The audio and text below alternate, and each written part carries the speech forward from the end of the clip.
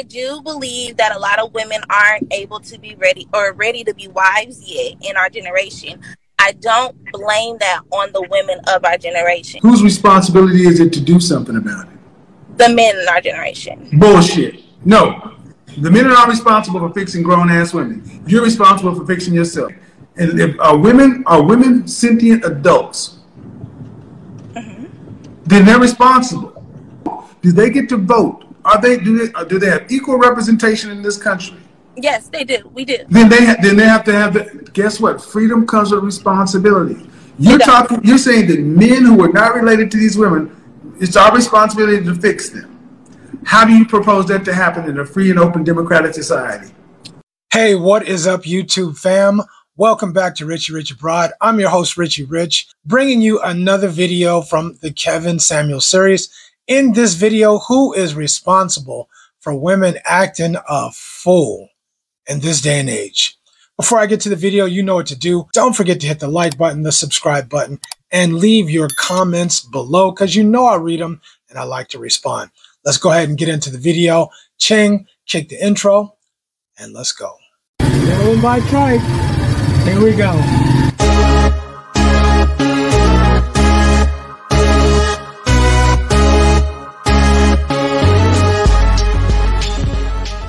Hey, how you doing? I am well. How are you? I'm fine. I'm fine. How old are you? I'm 24. All right. Uh, you saw that. Uh, what do you What do you got on top? What are we talking about? Yeah, I was just um trying to piggyback off of the last live. The woman I saw, like the extremely high expectation, and her not living in her own reality. And I think it's a really big problem with like past generations and even a lot of like city girl generations on how um you want to manifest and create this big life in your head with no plan on yourself on how to achieve it. You can't well, look to a lot of this city girl stuff. I mean, I don't think they've done a lot of damage. This manifest shit has done a lot of damage because yeah. these women really believe this stuff. They believe it like they don't have to. They believe it's like they don't understand. Like when you when it comes to manifesting something, you gonna manifest the best man, but all the universe can gonna be able to give you is whatever is in your reach. So if you reaching out of the hood, if you reaching out of poverty, that's all you're gonna get. You're gonna reach for the man that's the best poverty kind of nigga you can get. You know, this woman is on point. I like her already. Look, you can manifest all you want to. I know people who believe in that crazy ass shit. Oh, I'm just gonna manifest it and it's gonna happen. No, you got to put in, in this day and age you got to put in the work for things to go well, for things to go right, for things to go good. You have to put in the work to get what you want. And that's the only way. That's the only way it's going to happen. Nobody owes you nothing. Nobody's going to give you nothing in this world. Yeah, uh, you make a good point. They're always worried about the manifesting, but it's always coming to them. It's not like they got to do anything. You can manifest some BS, or can you keep it? Bro. Uh, I, I, did ask the other lady. I'm gonna ask you too. Um, what did your mother teach you about relationships and, and men, if anything? Absolutely nothing. Really? no, not nothing at all. Uh, is she is she um, married or what? Yeah, mom just got married again. She's been married for a year, like her third husband. Mom just got married to her third husband. So what kind of what kind of ideology, what kind of what kind of agenda do you think mom is pushing onto her daughter? Any anything about finding a husband, anything about being good to a man, anything about about taking care of a family, being a great wife? She probably don't know how to do it herself. On working on her third marriage, she probably don't know how to do it herself, let alone be able to teach those ideas to her own daughter. Who is this? Real Miss Madam. Hello, how are you? Uh, well, what's your first name? Ayana. What do you got on the topic? You're driving. Yes. What do you got? Wait a minute. Is this Biggie Smalls coming coming back from the dead? I think Notorious B.I.G. is in the house. um, so I would like to say that the last woman was definitely um she didn't really know what she was talking about um, for her own self. Um, but I would like to say though that I do feel not all black women fit this stereotype. There are a lot of black women who do know how to cater to a man and who are worthy of being What percentage? like men. What percentage of adult black women fit the? I'm not gonna lie, I think it's low. I think I think it is low. What is? But didn't she just say there's a lot of them? Low. I think I think it is low. What is? Give me a ballpark. Mm, probably about thirty. Thirty percent. And this is my this is one my thing. My thing Hold about on. Hold on. Hold on. Yeah. Hold on. See, what are you basing that on? Um, I'm going to base that off of just watching people and listening to people into my in my current generation, their ideologies of what relationships and How old are you are again? How old are I'm you again? How old are you again? I'm 23. So the woman next to you is 24 and she doesn't agree with you. She's in your generation. When you said 30%, she was like, no. You don't think so? No man. I, I agree with her. I don't know. Because well, for one, when it comes to this thing on well, black women don't do this or black men don't do that, it's like when, as soon as I feel like my personal opinion, as soon as somebody says that, you're speaking on a statistic that you scientifically don't have no fucking idea on what you're talking about. You do not know every black woman or black man on this fucking earth to make up this statistic. So I feel like Let's do it. Okay, let's do a favor. Let's do something. Let's let's take, let's take the curse words out. Let's keep it clean. Okay. But I get your point, but you don't have to know every black woman because we're talking about, we're making a generalization. And the point is, how many? What's the percentage? And if the percent is half of them, if it's 50%, God forbid 60 or 70%, it's too goddamn many. That's the point. It doesn't have to be all. If it is an overwhelming majority, which it is, then it's too many. but but see when you say, ma'am, and I don't want to. I don't want to. When I hear you say that, I don't feel like all black women do this. Uh, enough of them do it to where it's a problem. Yeah, I feel like that's definitely that is that's that's true. So if, if even thirty percent, how what percentage of women do you think is too much? Fifty, or really not even fifty. Really, probably a, a number that's lower than that. But Which, Now, hold on, what- what, okay, no, hold on, ma'am. If the number is lower than fifty, what is it? I'll probably say about a good forty. So, I think you were, I think you knew the truth, but you, you, you, you've already said something that dug a hole. That the number is already too high, even if you thought it was thirty percent. So, in this short statement, you've already countered your own argument. Enough black women are doing the things we're talking about to where it's too much. And it's not even really a color thing at the end of the day. It's like women in general. Right. Yep, it, it's becoming more like and more. I, you keep you keep saying you keep telling them you keep saying forget what she looks like and it's like all the black women especially are ignoring that part when you say forget what she looks like and they still want to argue well black women well black women well black fighting to be loved and it's like already love yourself already know that you're valuable you don't need somebody to tell you that black women are valuable we we haven't already been, are that our, our, our, we have not been taught to value relationships. We've been taught to value individuals. Now we that all, let's go. Hold on. Go ahead. Um, I'm sorry, not not to interrupt you, but um, I just want to intercept on that because I don't necessarily think that is true. Um, I know, especially for me, the women I grew up with, and a lot of the friends I associate with, we were taught. Um, we definitely were taught, um, basically just household structures. And What we were percentage of women were very raised like early. you? Man, what, what percentage of women were raised and taught like you? Point. A low number as well. What does that be? What would that be? I would say about twenty five percent. So if you understand that only 25% of the women that you're talking about were raised like you, then why are you even bringing you up when you understand that you do not represent the masses? Very clearly, you don't represent the people you're talking about.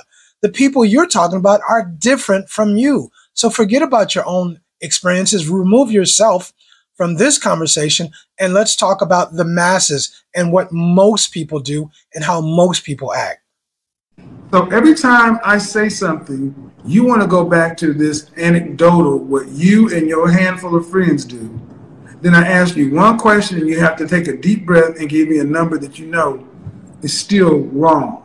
But so you most no, ma'am, no. You're disagreeing in your feelings. I'm not disagreeing. My really my point. Do we have enough black women who are fit and ready to be wives and want to be wives now? No. Then what's the point? Why are you arguing? Uh, so my, my, question is, is so why do we so why do we argue why do we want to come in and have and throw off the conversation to talk about the people who are like you? Because she's one of those black women who is not fit to be a wife. That's why she wants to come in and argue. That's what you want to do.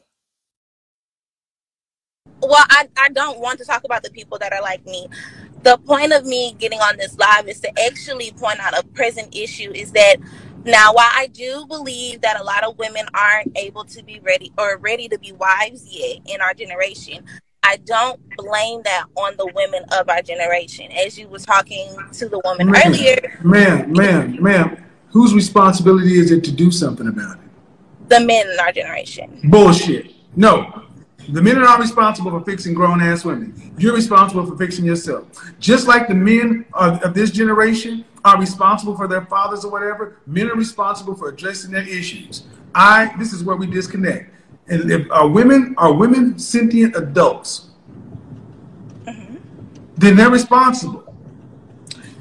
So as you were saying no, with no, the they, do earlier, they get, do they get to do they get to vote? Do they get to vote? Are they do they do they have equal representation in this country? Yes, they do. We do. Then they ha- then they have to have the guess what? Freedom comes with responsibility. You're talking. You're saying that men who are not related to these women, it's our responsibility to fix them. How do you propose that to happen in a free and open democratic society? Okay, so the reason why I place the responsibility on men to. That's not even what he asked you. That, that's not even what he asked you. He asked, How do you propose men fix women in this society where women are free to do as they please? That's what he asked you. To not only fix the women in their generation, how do you propose that happens in a free and open? How do you? How, I don't. Okay. How do you propose that happens in a free, open, democratic society? Men have to men have to take control of themselves. How do you take control of individuals in a free, open, democratic society?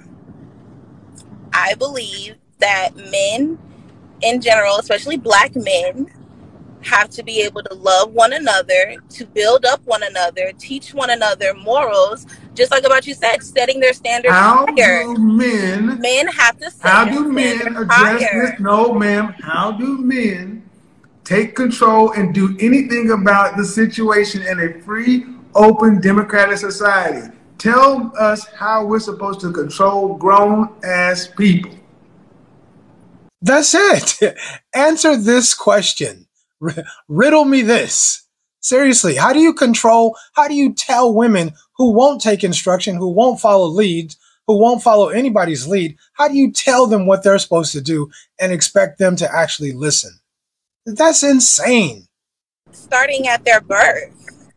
Ma'am, behaviors are taught. Ma'am, that make no, no, ma'am. Behaviors See, and ideas, no, ma'am, no, ma'am, no, ma'am, no, ma'am, no. So if men no, are ma'am, surrounding no, absolutely women, not. See, this is with so, the way so they no, want no, no, I'm, about to drop you and go off, man. See, if you want to have a conversation or you want to talk this shit. You're not going to just talk over me. You're talking about men are supposed to take control. And then when I ask you, how do you do that in a free, open, democratic society? You say starting from their birth. These men, the only way that happens is if she's married to a man their children are in the house and he's her father. I agree. Okay, but that's not what we have today. We have 80% of our children are born out of wedlock, and that's the women's choice. But no, that's not the women's choice. That's it is a woman's choice. You goddamn right, it's a woman's choice. It's absolutely a woman's choice. You're the one who picks the man in the first place. You're the one who opens your legs to the man in the first place. You're the one who doesn't demand that he offers you marriage in exchange for what you offer him in the first place. You're the one who decides to have that baby, to bring that baby to term in the first place. You're the one who decides to leave that man.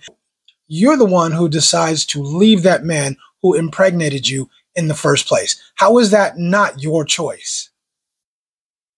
Choice. They woman decide.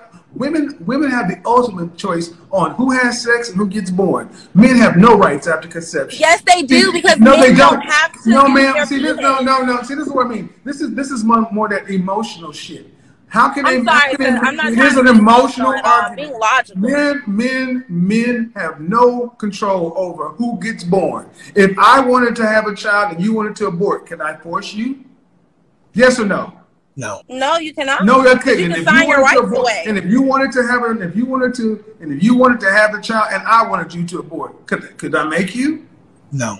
No, you cannot. But No, you I didn't have, you didn't means have to you have, have sex ultimate with me unless No, I ma'am. raped Simple, you. simple, simple, If simple, I did not simple, you, simple, you simple. No, you won't sex overtalk me. me. You won't overtalk. me. Simple logic is, ma'am, women control at who gets born. And 80% of our children are born to childless homes, fatherless homes. That is women picking to choosing to be pregnant before they get married. It is very simple. You want to reduce the out of wedlock uh, birth rate? You marry before you carry. Boom. This is I not agree. new. So it's I women's agree, but we can't place that solely on women. But now you're moving the goalposts and you're changing the narrative because you started off saying that it's completely men's responsibility. And now you're saying, oh, well, you can't place that responsibility solely on women. But now, so you're acknowledging it is women's responsibility. It is at least in part women's responsibility. And right here and now, I'm going to say that men also have a responsibility in it. You can't put that all on women because women, because men, we have to have dick control. If you don't exercise dick, con- can I even say dick control? I'm gonna say it. You have, nah, okay. You have to control where you put your penis as a man. You have to control what you do with your penis as a man. We also have a role in this and a responsibility in this too. It is not solely the women. Yes, we can. No. Yes, we can. So basically, in your world, women are children. I'm sorry.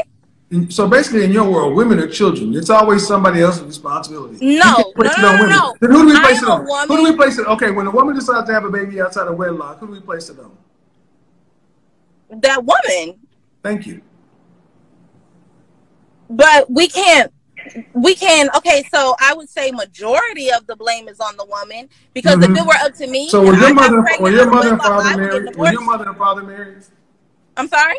Your mother and father were they married? No, but I grew up with my grandmother and she's been married Okay. for 52 uh-huh. years. So, so, and your grandmother's generation. So, basically, your position is, it, we can't blame the women for what the women do. No, I'm not saying that at all. But ultimately, whose responsibility is an individual's? Who who owns the responsibility for individual actions? A person does, the individual. Right. So, ultimate responsibility lies with who? The, The who? person who's doing the The individual. Thank you very much. In the beginning, she started this argument saying men are to blame, but now she circles back and completely contradicts what she said earlier and says it's the individual's choice, which it is. We all make choices that are sometimes beneficial for us and sometimes they're detrimental to us. But we make those choices and we got to live with the responsibility and take accountability for the choices that we make. It's that simple and always will be. So you you just undercut your argument again. I haven't undercut my argument. Yes, you have. You just don't. You you have. You just don't know you've done it yet. Can I can I please You've already undercut your argument. You just don't know you've done it yet. You're just Okay. talking at this point. so look, once again, another woman comes on the Kevin Samuels show and just wants to argue. I don't know if you just want your 15 seconds of fame, but you come on there just to argue and your argument is completely disingenuous and it makes no sense. It's absolutely asinine. We all are responsible for the decisions that we make with our bodies. If I know that a woman can get pregnant, I put my penis inside this woman, ejaculate inside of her, I know that I am taking a chance on impregnating her and her having my baby. As a mature adult, I understand that. And that is my choice whether I choose to do that or not. I choose not to do that. Just the same, it is a woman's choice to choose not to choose. She can choose abstinence. She can choose over 30 different kinds of contraceptives. She can choose to use condoms. She can choose to, she can choose the man that she allows to be inside of her. She can choose whether or not he ejaculates inside of her. She can choose whether or not she wants to have sex at all. Women have a lot of the choices. And yes, if you are objective, it is easy to say women bear the majority of the responsibility in bringing children into this world. Yes, a man must take part of it and he has to, and we have to be accountable too. But don't tell me you're not responsible. Don't tell me it's the man's responsibility because that's just garbage. Anyway, let me know what you think. Is it the man's responsibility? Is it the woman's responsibility? Is it both? Let me know what you think. Leave your comments below. You know I like to read them and I like to respond. If you like this video, you know I got some other videos that are just as good, if not better. So check those out too. I'm Richie Rich for Richie Rich Abroad. I'll see you in two days. Until then, deuces.